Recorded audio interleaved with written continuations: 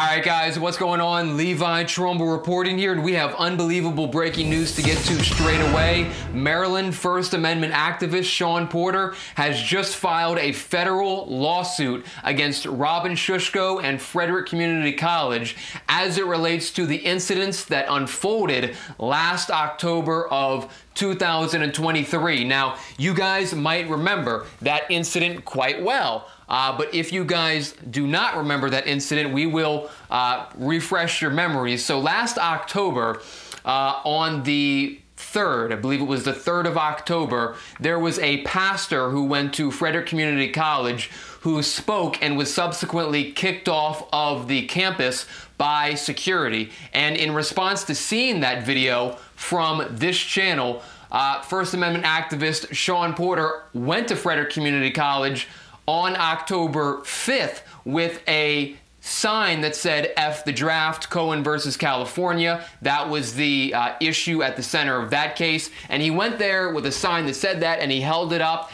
And in this now the federal lawsuit that has been filed, uh, Shaun Porter goes through the motions on why he believes uh, these were First Amendment violations. So it's an 18 page complaint, and in that are five counts that he alleges against Robin Schushko and against Frederick Community College as a whole.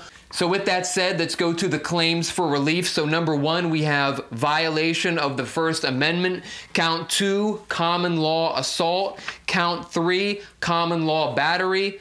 Count four, denial of right to due process under law and then count five, retaliation against free speech. And those counts all unfold from the events that happened that day as some of you guys might remember when he showed up there, they had a back and forth. The campus security and Mr. Porter, Robin Schushko tried to reach out and grab uh, Mr. Porter's phone and made bodily contact with him. Uh, during that incident, they called the Frederick City Police Department.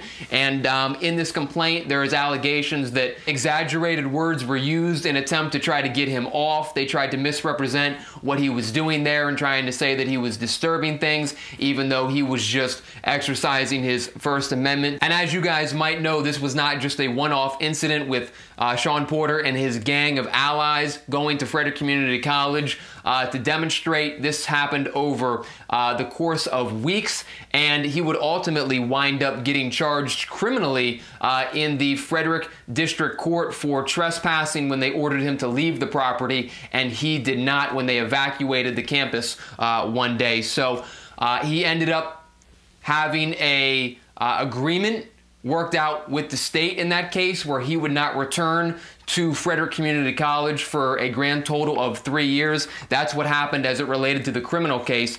Uh, so it'll be interesting to see if anything um, happens there, if he believes that anybody uh, involved in the filing of those criminal charges uh, might come under the gun uh, with something like this as well. We don't know at this time. Uh, but with that, guys, we will see what plays out. Mr. Porter asking for $250,000 in compensatory and punitive damages uh, for the losses that he says that he has suffered, the things that he has suffered as a result of the actions taken by Robin Schushko and Frederick Community College staffed in what he claims was an attempt to deprive him of his First Amendment and attempted to chill him and retaliate against him for exercising his right to free speech. So we'll keep on it. We'll see where it goes. With that, guys, Levi Trumbull reporting here in Frederick, Maryland, and we'll catch you guys very soon.